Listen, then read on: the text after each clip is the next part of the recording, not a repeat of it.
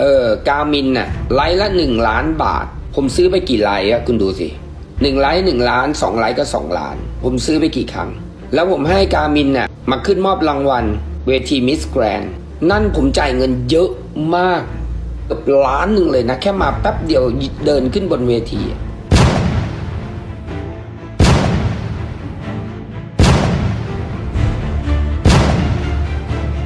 ต้องเรียกเท่าไหร่แพงมากเลยนะ ผมบอกแพงมาก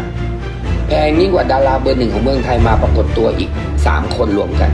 แต่ถามว่าช่วยไหมช่วย ขออย่างเดียวคือคนเราต้องนิสัยดีกันนิดหน่อยอะ่ะ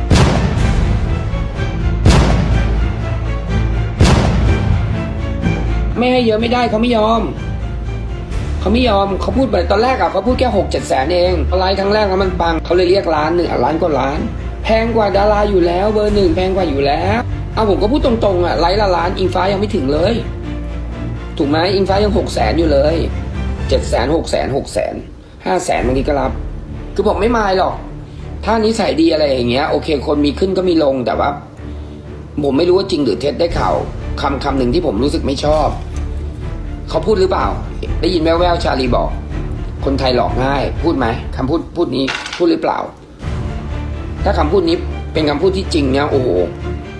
ผมบอกเลย ถ้ากลับมา ตำรวจตอมจับมาสอบเรื่องสัมภากรก่อนเลยช่างมันเถอะอะไรก็แล้วแต่ใด ๆ อะ ผมว่ามันก็เยอะไปเออถ้าพฤติกรรมเป็นอย่างนั้นนะมันเยอะไปทุกอย่าง แต่โดยพฤติกรรมทั้งหมดก็ไม่ควรจะทำแบบนั้น เออ มันเยอะไป ใช้เงินตัวเดียว นะ เงินตัวเดียวจริง ๆ นะ เงินก็เงินเรากับกามินเนี่ยณตอนเนี้ยคุณว่าใครอะ เป็นคนที่เราหน้าอกอุ้มกว่ากัน ใคร ใคร ก็เป็นบทเรียนนะฮะ อันนี้ก็เป็นบทเรียนนะฮะ เป็นบทเรียนสำหรับผม